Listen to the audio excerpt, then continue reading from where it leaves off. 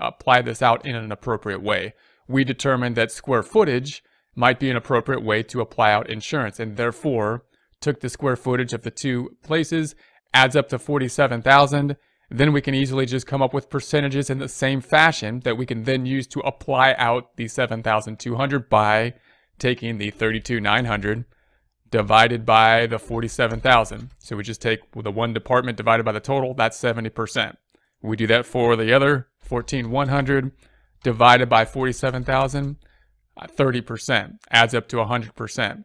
So then we could take these items, these percentages, how are we going to break out the insurance then? We're going to break it out 70 30, 70 30%. So then we take the 7,200 for insurance, 7,200 times 0.7, 70%, 5,050, and 2,160. So that's how we broke it out over here.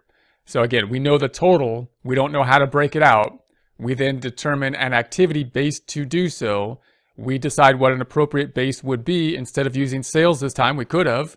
If we used sales, we would just, we would follow the same pattern we did last time, which is to take these 6436. We decided that 6436 breakout shouldn't apply to the insurance. We think it would be better to use the 7030 based on the square footage because square footage is a better cost driver, a better indicator of what the allocation should be. So then we'll do the same thing again, but now with depreciation. So same kind of method. We're going to say, okay, here's department A, here's department B. Once again, we're going to use square footage, which seems appropriate for depreciation. If we're using depreciation on the building, we would think, okay, then maybe that's square foot.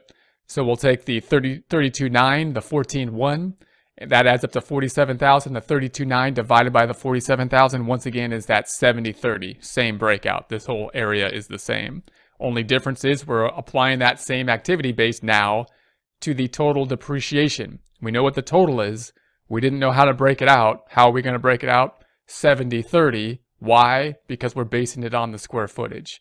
So now we take the 70% times the 15.8, 11,060, the 30% times the 15.8, 4,740 to get our total 15,800.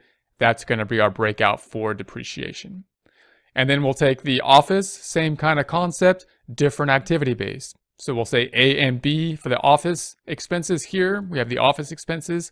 We decided that sales isn't the best one to use. We don't want to use the square footage for the office expenses. We think the number of employees is most relevant there because these are going to be office expenses that, you know, probably going to use by the employees. The one with more employees probably uses more office expense. So we're just going to count the number of employees per office and say, all right, well, there's 72 employees for Department A. Uh, Department B, 48 employees. Once we have that, we add them, them up, 120. We do our ratio analysis, which is each department, 72 divided by the total, 120. That gives us 60% here, and of course, 48 over 120 gives us 40%. So how are we going to break out the office expenses? On a 60-40 basis, A and B, based on the number of employees. So then we're going to have the 46,000 times 0.6, and that's going to give us the 47.6.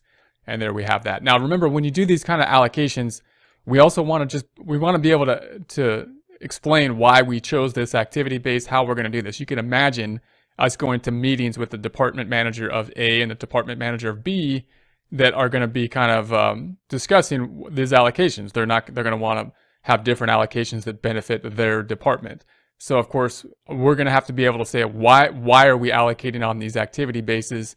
Uh, what's the relevance of, of these activities? Is this fair? And we're going to have to explain the, the process and say, hey, we're trying to make this as fair as possible. We think this is the best allocation we can do for these different types of expenses. Here's why, and and go forward from there. And it could be a constant kind of negotiation type of process in terms of the appropriate allocations.